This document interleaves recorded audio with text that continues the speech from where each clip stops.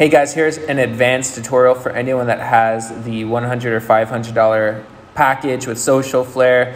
When you unlock those packages, you get all of these different methods right here. And I'm gonna show you what I'm on, what I'm personally doing for my personal account and what's working for me right now. And you can really just copy all these and do it for your page. So really, you know, bear with this video, watch it all the way through, watch it a couple times, make sure you apply everything that I am.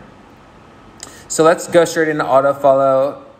When you have these packages, you can actually turn on multiple things. And if your account has been around for a while, then it's totally safe. If it's a brand new account, I wouldn't personally, you know, put more than one tool on. If it's like a brand new fan page, you only want one tool on at a time.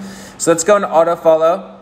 So right here, I'm targeting different hashtags. So let's say you just wanted to target, you know, a business hashtag, what you would do is just type in any keyword that you want and you would just simply select any of these hashtags. What's going to happen is anyone that, that posted this specific hashtag in a photo, it's going to go out and start following those people, right? So if you're just starting, I would recommend to have this on very slow and work your way up. Mine, my account is pretty aged, so I went straight into medium. I didn't have any issues, but that may not be the case for you. I always, always recommend have everything on very slow to begin with, and then you can work your way up. Make sure your status is active, then hit save. Once it's saved, then it is saved. You can go to activity log to see how everything's working. Next request is going to be in a minute. Looks like it's definitely working. So far, did 24 follows, which is nice. And so that is basically it. If you want to experiment with places or people, you can, but I recommend having hashtags, putting in niche hashtags. So you can have auto follow on. You can also have the auto unfollow on at the same time. Um, just have them on very slow and work your way up. Next is going to be auto like, which I also have turned on right now for my page. I've been testing it and I haven't been getting any action blocks which is fantastic. So let's go straight into it. We want to go into hashtags again. Same thing. You just want to search up different hashtags in your niche. And then what you want to do is for you, you want to start off on very slow and work your way up. I've worked my way up to slow. Maybe, you know, every other day or every three days, you turn it up a notch, or every week, you turn it up a notch. If you want to be super safe, I would say every week to every month, you turn it up a notch.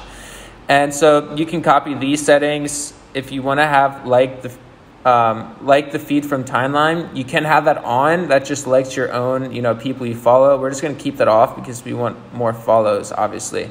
Then you can see activity log. Make sure it's running properly.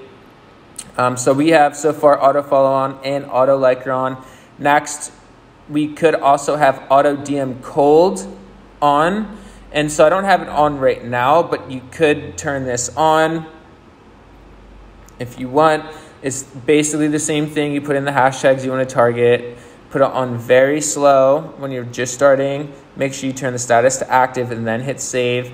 And then you want to make sure that you add your message, you add a custom message, and then you have to hit add message and then you hit save in that order for the messages actually to save here. If you don't see anything saved here, it's because you're not adding the message right there.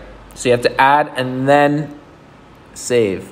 Add, save to add any messages. If messages aren't being sent out, it's because you're not adding it right there. Super common mistake.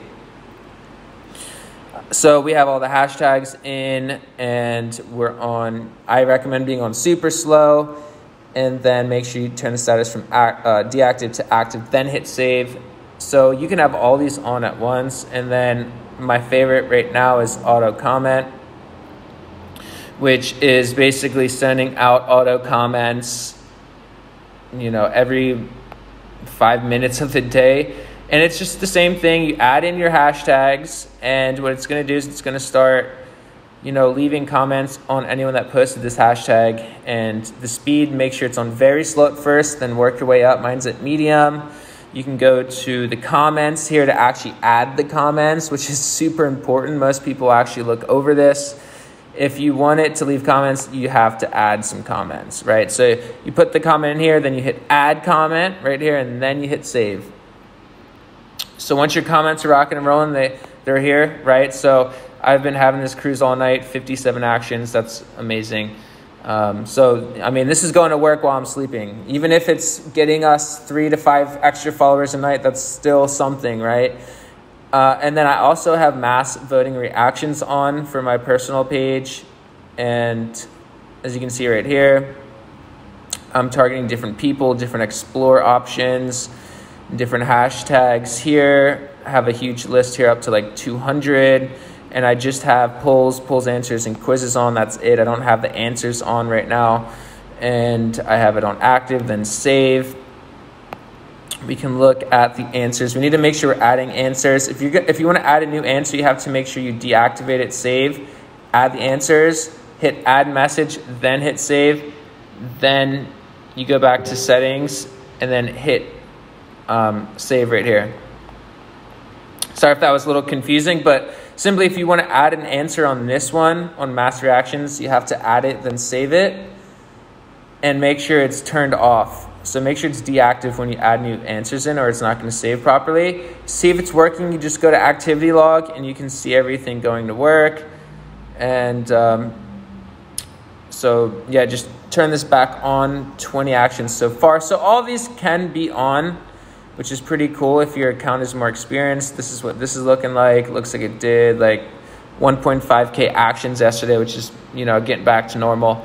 Um, but if you use a combination of everything, you should be good to go. And then also, if you ever do use Hyper DM, I would turn off mass reactions or mass poller, and this is going to respond to everyone in your requested inbox. So let's say you have like 300, you know, requested inboxes this is an automator. HyperDM is an automator that just responds to everyone in your requested inbox. And you could have some type of call to action like, hey, thanks, follow me, here's my username.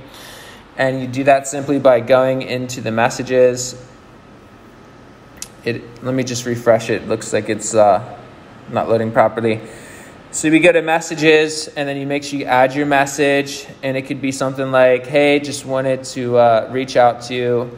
Um, hope you can follow me or something like that. And then it's just going to wipe out everyone in your request and you can hit active right here and then save. You could have all these turned on especially if your account is more seasoned. So hopefully this helps and we will see you guys in the next one